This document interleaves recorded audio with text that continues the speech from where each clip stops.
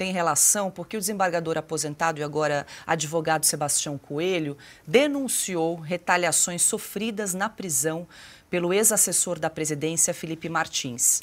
Numa entrevista ao podcast Cláudio Dantas, o magistrado que assumiu o caso como advogado do investigado, as ações contra Felipe Martins são motivadas por questões políticas.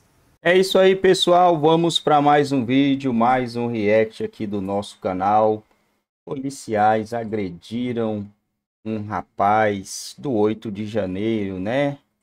Vocês vê aí falar que eles agrediram o traficante, sei lá, não vê, né? Ah, o cara procurou recurso porque foi agredido. Não vê, né? Medo de alguma coisa eles têm, né? Então vai lá, não, vamos pegar esse cara aqui que é fraquinho, tá com raiva de alguma coisa que aconteceu na casa dele, tá passando por alguma coisa, que não tem, não tem cabimento. O cara agredir uma outra pessoa assim por nada, não tem explicação. Tá passando por algum tipo de problema, vai lá e comete isso. Covardia, né, gente? covardia. O cara não pode fazer nada. Porque o outro tá fardado. Né? Aí o cara tem só que abaixar a cabeça. Mesmo que ele quisesse fazer alguma coisa. De execuções penais, você tem uma chamada comissão técnica de classificação para dizer onde é que esse preso vai ficar. Desde que Felipe está preso, tem mais de quatro meses, ele está, ficou um período de isolamento total, isolamento total, que não necessitaria, ele não é bandido, uhum. mas ficou. Mas depois desse isolamento, ele foi colocado numa ala é, com uma certa assim, tranquilidade. E foi colocado para trabalhar na biblioteca. Então, nesta semana aqui, começou esse movimento na quarta-feira passada e houve a informação que eu tenho que houve uma reunião. Isso foi passado pelo Dr. Ricardo Schiff, que é o outro colega que é do Paraná que está acompanhando diariamente a situação. Que houve uma reunião de, de uma comissão dizendo: não, agora nós vamos tirá-lo da biblioteca e colocá-lo numa ala com quatro outros detentos, ou cinco, que nós não sabemos quem são. Os senhores não têm ideia de que o Felipe Martins é um assessor internacional, que esse moço pode ser morto na prisão, que esse moço pode sofrer uma, uma tortura ali na prisão, até por presos mandados não, é, não são os agentes penitenciários, até por preso mandado. E o diretor da, da, da, da prisão, nós temos já a, a, a sua, os seus dados, que ele tem ligação política com o Partido dos Trabalhadores. Pois é, Ana, o desembargador aposentado acabou de dizer nesse podcast né, uh, que o, o, diretor do presídio teria ligação com o Partido dos Trabalhadores e nós conseguimos aqui em primeira mão na Revista Oeste um documento que comprova então a filiação partidária do diretor do Complexo Médico Penal de Pinhais, no Paraná, Edivaldo Willis de Carvalho, conforme então a gente acompanhou essa declaração do advogado Sebastião Coelho, se nós pudermos até inclusive, não sei se temos para exibir na tela, mas enquanto a gente providencia, queria ouvi-la aí, porque o, o, advogado, o Sebastião Coelho, faz aí uh, declarações bastante preocupantes, inclusive que Felipe Martins pode ser morto na cadeia a qualquer momento. Está aí, então, a, a certidão de filiação partidária do diretor do complexo penal, onde hoje está preso Felipe Martins desde 8 de fevereiro. Está aí, então.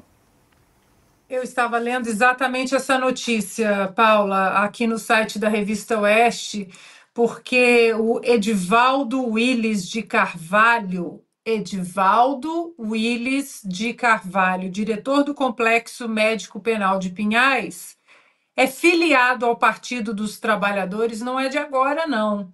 Ele é filiado a desde ele se, ele se filiou ao PT em 10 de janeiro de 2001. 2001.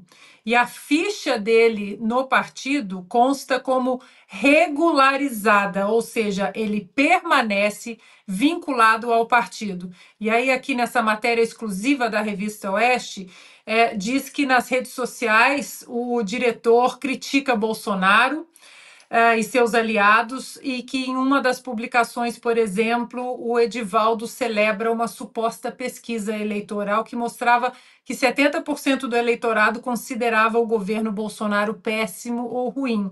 Ele também curtiu uma postagem do portal G1, uh, segundo a qual a maioria considerava Bolsonaro despreparado, desonesto, indeciso, incompetente, falso, pouco inteligente e autoritário.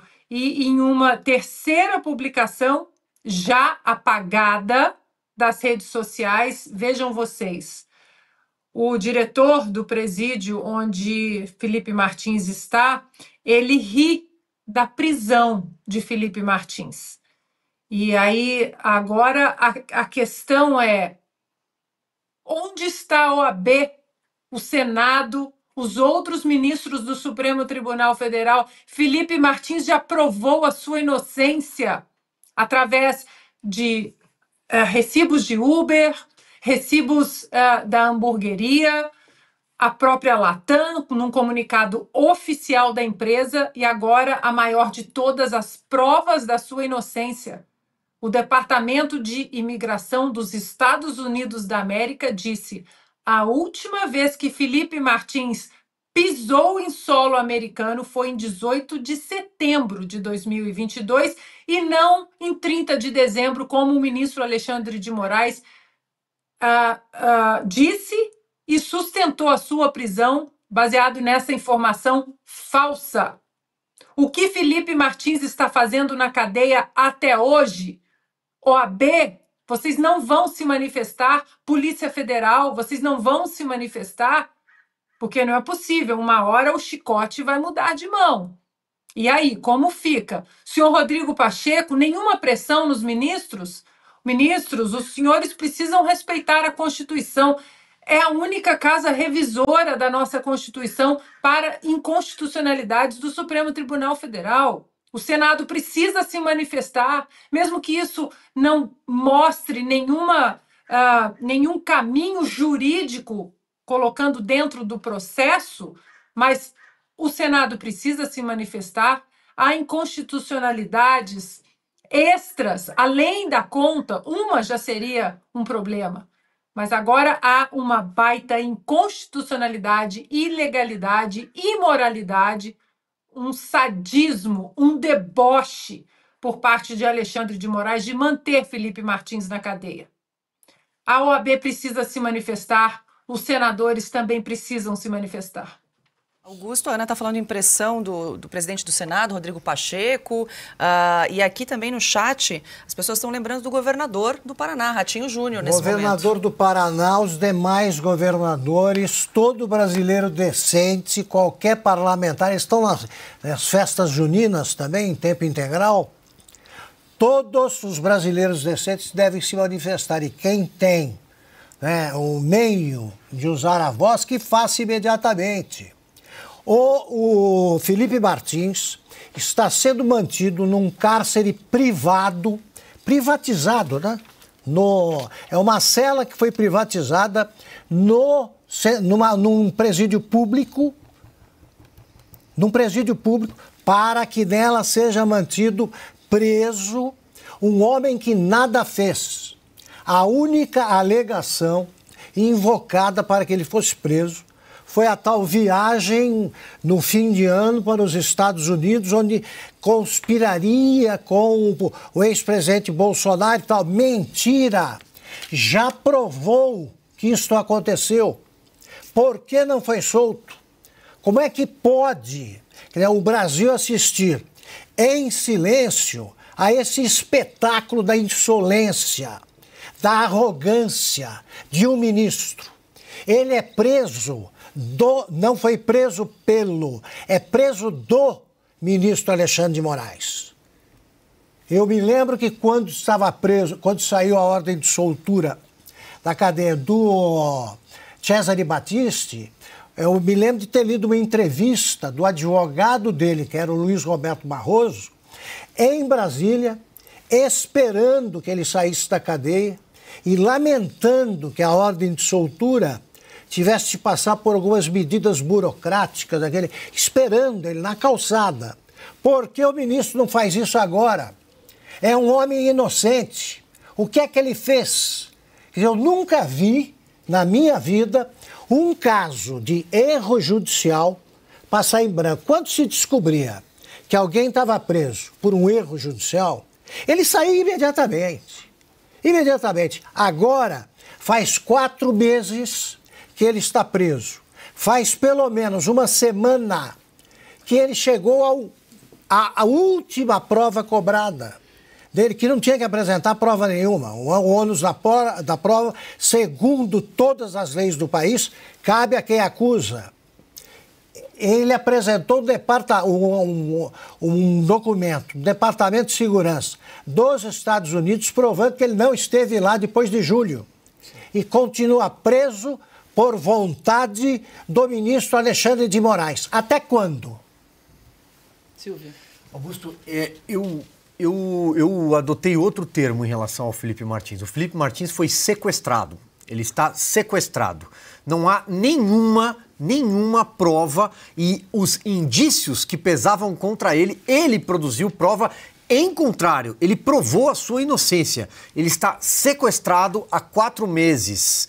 O departamento americano enviou um documento dizendo que Felipe Martins não entrou nos Estados Unidos. A Latam emitiu um certificado. Ele provou que foi a uma hamburgueria, tem registros é, da, de alimentação, tem registros de Uber ou o Supremo Tribunal Federal diz o que pesa contra ele, ou a história vai mostrar que ele é um preso político, que ele foi sequestrado e esse erro grosseiro do judiciário, grosseiro, vai custar muito caro para a imagem do judiciário brasileiro, porque é a última corte recursal. O Felipe não tem a chance de recorrer a uma instância superior, porque ele foi preso por um ministro do Supremo Tribunal Federal. É diferente de um bandido que mata, que rouba nas ruas e é preso, tem a primeira instância, a segunda instância, o Superior Tribunal de Justiça, até chegar a um habeas corpus do Supremo Tribunal Federal. O Felipe não teve essa chance. Ele só tem a Deus para recorrer. E tem como carcereiro esse militante do, do PT, PT que ameaça visitas quando ele recebe visitas, são ameaçadas por ele por esse carcereiro. Exato, Piotr. Até, até mesmo trazer, nós ah, exibimos um trecho ali da fala do advogado Sebastião Coelho, que disse que quando o Felipe Martins chegou, ele foi para uma ala de isolamento, depois conseguiram que ele trabalhasse na biblioteca ali da penitenciária e desde a semana passada, então, discute-se a possibilidade de transferi-lo para uma outra ala junto com outros detentos e aí, claro, a defesa está muito preocupada aí com os rumos de Felipe Martins dentro da penitenciária com a segurança. Sobretudo porque é um preso cautelarmente, ele não foi condenado. Uh, a ele, se a todos os presos, como discutimos há pouco aqui, é garantido o direito à integridade, porque é um dever do Estado que, obviamente, passa a tutelar, está é, sob tutela do Estado. Uh, no caso de um preso cautelar, por medida cautelar, o que é uma afronta, porque dele está sendo obrigado a que apresente provas, e como acho que o Augusto já fez menção, não tem mais prova possível para ser apresentada. É, esse documento que veio dos Estados Unidos, ele não tinha o dever de fazê-lo, porque, de novo, no estado normal do direito, o ônus da prova cabe à acusação. Isso é muito claro. A, aluno de primeiro ano de direito sabe disso. E não erra na prova, porque se errar isso, não dá para continuar o curso. Mas, neste caso especificamente, não tem nem prova possível. E, de novo, o advogado já levou toda essa documentação. Isso já faz parte do processo e não tem resposta do ministro o ministro se nega a dar uma resposta num caso que, convenhamos, afronta a liberdade dele, que é uma garantia, é um direito contra ele, não há prova cabal. Ou se há que, as, que, que seja apresentado. Quais seriam? Por quê? Ué, por que, que o ministro estava tão interessado nesse documento dos Estados Unidos? Porque parece ser esse o motivo da manutenção da prisão. Cautelar, neste caso ilegal, absurdo e por aí vai. Ah, nós estamos num Estado democrático de direito, à exceção do que o Supremo decide. Mas o Supremo não pode fugir do Estado Democrático de Direito, porque isso está na Constituição. As garantias individuais estão todas lá expostas. Olha, alguém pode dizer que a Constituição é longa, mas ela é muito clara no que ela diz. E não há espaço para essa decisão do Supremo. Nenhum espaço dentro da Constituição. Deixa eu aproveitar o assunto, vou pedir para a gente exibir na tela, porque é, esse documento com a filiação aí do diretor da penitenciária exclusivo aqui da Revista Oeste, nós demos em primeira mão agora há pouco essa informação de que o diretor onde Felipe Martins está preso é filiado ao Partido dos Trabalhadores, está aí na tela, ó, nós publicamos 17 horas e 55 minutos a recentemente reportagem aí do nosso jornalista Edilson Salgueiro.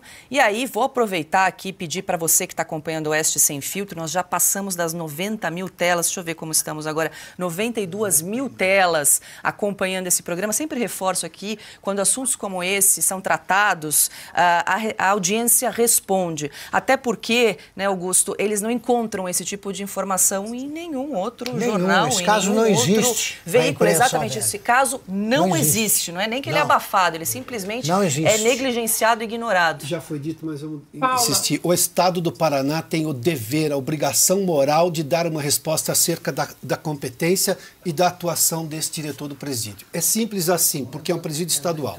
Perfeito. Bom, pessoal, gravíssimo, né? Denúncia grave, situação grave. E é só Deus, cara. Né? A gente crê, eu creio que Deus em algum momento vai agir no silêncio para reverter essa situação, para mudar a situação que o Brasil está passando nesses últimos anos. E agora, né, após o Elon Musk não ter apresentado aquilo que ele disse que apresentaria, o poderoso chefão aí resolveu avançar mais uma vez. Ele resolveu partir para cima novamente, né? Infelizmente, é o cenário do Brasil hoje. A gente torce sim para que alguma coisa seja feita, temos esperança de que alguma coisa será feita, né? A gente tem aqui na o Milley conseguiu lá de novo, tá mudando, mas tudo é um processo, né? Remoso, difícil, vagaroso, não é do dia para a noite. E a gente acredita sim que o Brasil vai voltar para os trilhos e que os criminosos, verdadeiros criminosos, vão pagar. Olha, de alguma forma vão pagar, né? Aqui nessa terra, o que a gente planta, a gente colhe. Só que o povo brasileiro queria ver, né, o criminoso pagando. O povo brasileiro queria enxergar com seus próprios olhos, né, o culpado indo ser preso, os culpados serem presos, né, os verdadeiros culpados. E assim, os caras estão apostando muito alto. Tem que ter muita coragem, ou a pessoa ela tem que ter a certeza de o que ela está fazendo está certo. Ou é, é duas coisas, né? Ela tem que ter a certeza de que ela está fazendo está certo, ou ela tem a certeza de que está fazendo é errado e está sendo muito corajosa, achando que não vai dar nada. Dificilmente não dá nada, né, gente? Dificilmente não dá nada. O poderoso chefão diz que nem os pais deles gost, gostavam dele. O, inclusive o pai dele faleceu, né? Mas diz que nem a mãe gosta do cara. Tava vendo no canal, no outro canal, não vou falar o nome, né? pra... mas geralmente vocês assistem, né? Então, do Paulo Figueiredo, não lembro quem falou, mas diz que nem a, a, a mãe do cara curte muito o cara, né? Mas defendeu ele. Mas diz que nem eles curtem o que ele faz. Então, é difícil demais. O cara fazendo tudo isso aí sem necessidade. Vida estável, né? Um dos melhores empregos do, do país. Poderia estar. Não é estar sendo ovacionado pela população, né? Porque os caras não estão ali para isso, né? Eles estão ali que é para a gente nem ouvir falar o nome deles. Eles estão ali para cuidar dos interesses do país, não da política. Eles estão mexendo com política. Os caras viraram política. Eles estão interferindo na política brasileira, né? Como diz lá, nananã não se ganha, se toma, né? E tomaram. Tomaram como falaram que iria tomar. O Barbudinho colocou pessoas aliadas a ele conseguiu montar um exército lá, porque para fazer o errado você tem que articular muito bem, né? Porque para fazer o certo não precisaria, né? Não há necessidade de você, ah, tem que colocar umas pessoas lá porque eu vou fazer o certo. Não, os caras que tem que estar tá lá para fazer o certo, não para fazer o que estão fazendo aí com a população. Mas é isso aí, pessoal. Vou ficando por aqui. É doloroso, é triste saber que tem pessoa inocente. A vida já é complicada, já é difícil, já é muito difícil. Aí você pensar que você tem um filho aqui fora, uma família, e o cara tá guardado lá, pagador de imposto, trabalhador, estudou para chegar aonde chegou. É uma cena de terror, é meio cena de terror que a gente tá passando, essas perseguições aí.